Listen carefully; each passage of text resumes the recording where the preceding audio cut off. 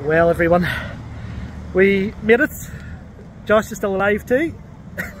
so we've, we've actually managed to get through the cycle challenge. Um, I think we ended up doing 62 miles instead of the 56 that we were supposed to do, but anyway, here we are. Um, so it's time to ditch the bikes now, and this is us on to the third phase, which is the half marathon. Uh, there'll be a wee bit of running and a bit of walking and some crawling, I hope so. Anyway, thank you everybody that's donated so far. Um, and we will do one last video whenever we get to Titanic. We need to get our heads down now and just get cracking through this half marathon. So anyway, oh, um, before I forget, my lovely wife has joined us. She's our special guest for the last part of this, last part of the challenge.